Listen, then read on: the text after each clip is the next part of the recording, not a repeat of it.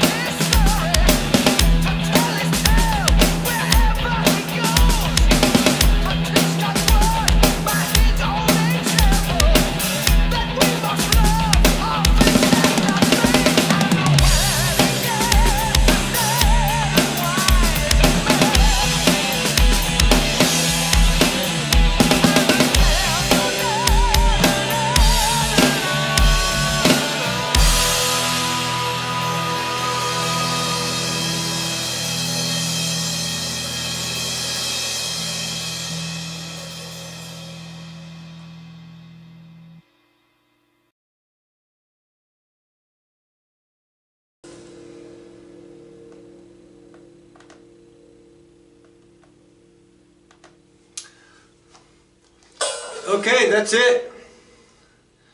A lot of fun, a lot of fun. Very, very difficult. Had some mistakes in there. Definitely had some mistakes in there. Um, that's a pretty massive undertaking. 13 minutes and 42 seconds. Anyway, hope you enjoy it. Until next time, please be well and please take care, and I'll see you soon.